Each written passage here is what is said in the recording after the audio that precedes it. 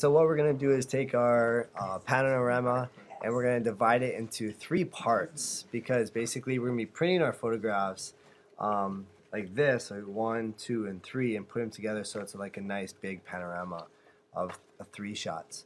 So what we're to do is hit Command N for new, and this is to be in inches, and we're going 12 by 6. So width is 12, height is 6, resolution 200, and then that's okay.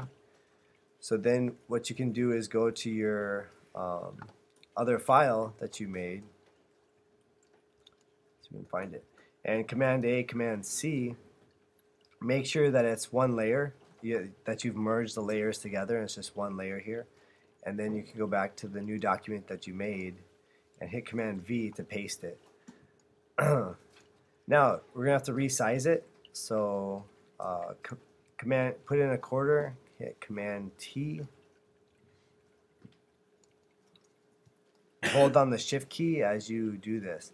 Now, if some of it, like notice here, I'm all the way at the bottom, but it doesn't cover some of my rights area, you need to overlap it and just keep on extending it out.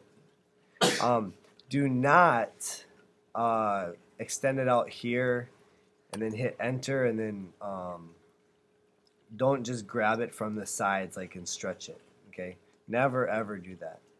Um, so always stretch from the corner, and you might have to just overlap and cut off some from the bottom. Okay, so from right there, I have it um, filling in my whole space. So now I'm going to divide it into three uh, portrait four by six um, areas. So M for marquee, and then up here, um, what you're going to do is we're going to have, instead of style normal, it's going to be a fixed size. Because usually for a marquee, you know, you can like choose any size that you want, but we're not going to do any size. We're going to do a fixed size because we know it's going to be, the width is 4 IN for inch and the height is 6 IN for that. And then I'm just going to click on the top left corner of the photograph and it'll automatically select um, a 4x6 um, part and this is going to be my first one. So then I'm going to go to image and then crop. Okay, and then Command S to save it. Uh, if you haven't saved it already, you could um, panel shots. Okay, and then after you save the Photoshop file, we need to save them as JPEGs, each of these three shots. So this is going to be a JPEG, and then I can just put like one, or you could actually spell one panel, and then I can save that. Okay, and then um, what you're gonna do is undo, hit Command Z, and then actually Command uh, Option Z uh, will continue to undo, and then you can get to the original.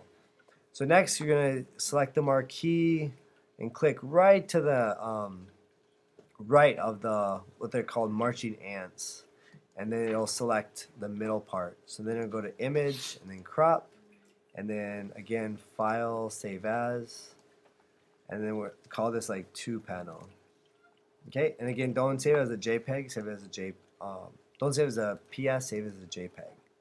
And uh, maximum quality command option Z.